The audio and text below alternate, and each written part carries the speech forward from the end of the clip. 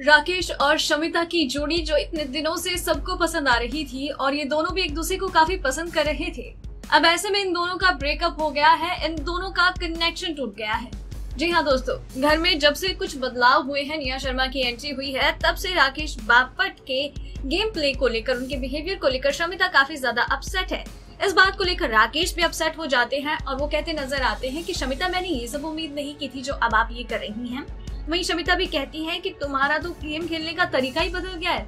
तुम अपने में हुए जा रहे हो। वही राकेश का कहना होता है इंडिविजुअल्स हैं, तुम अपना खेलो, मैं अपना खेलू। मुझे नहीं पता था कि मैं जिस कनेक्शन को इतना अच्छा समझ रहा हूँ, वो मुझ पर इतना ज़्यादा ओवर कर देगा।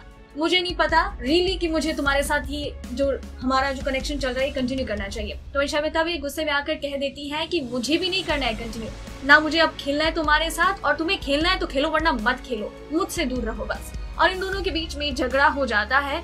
और एक दूसरे से दूर चले जाते हैं और शमिता भी अपना माइक फेंक कर मारती है और कहती है कि मुझसे बात ही मत करना।